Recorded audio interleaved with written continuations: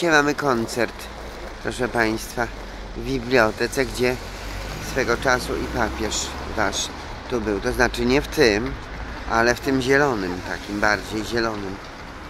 Jazzowy. No, także dla odmiany klimatu, żeby lato dla przyjezdnych z USA, z Anglii, Ameryki, Białystok, jak prawosławni przyjadą, mormoni, ewangelicy, jak przyjadą, to żeby mieli gdzie pójść, no bo takie te koncerty za bilety, to, to one są niepełnowartościowe. Człowiek jak na luzie coś przedstawia, prezentuje na luzie, to to wtedy jest ciekawe. I wartościowe, tak. Bo to z serca, a nie tam za te dziołchy, pieniądze, pieniędzy, za pieniędzy, za pieniędzy, pieniędzy. Także w tej bibliotece papież był też u siebie.